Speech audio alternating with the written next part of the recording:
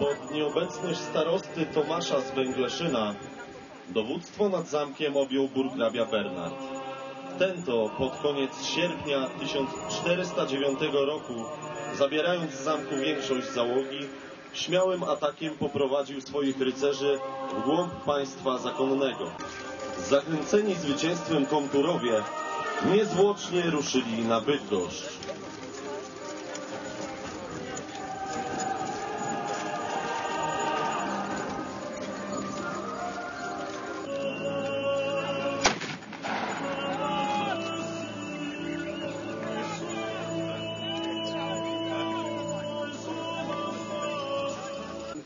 Sloppenau und Tuchel.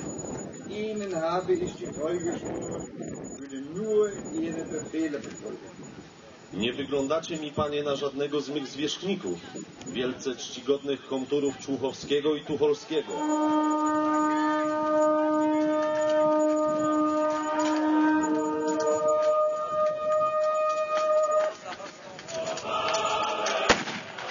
Wtem odezwał się dźwięk rogu, który oznajmił przybycie głównych sił wojsk królewskich.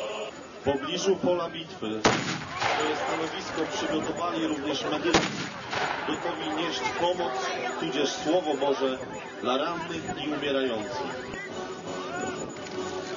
Gradem strzał osłaniali ich polscy łucznicy, którzy zmusili do milczenia krzyżackie hakownice.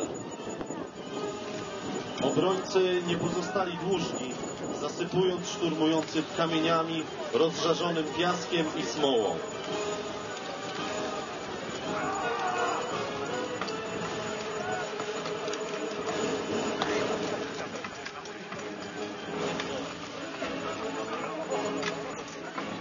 A gdy właściwy czas nadszedł, chwycili za broń. W ruch poszły topory, uzdygane, młoty bojowe oraz wszelka broń sieczna.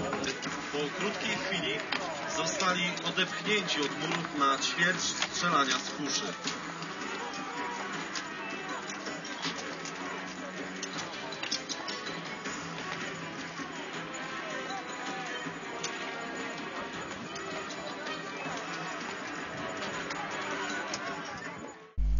Oblężenie zamku bydgoskiego, które było tematem dzisiejszego widowiska w Myślęcinku, miało miejsce w październiku 1409 roku podczas Wielkiej Wojny z zakonem krzyżackim.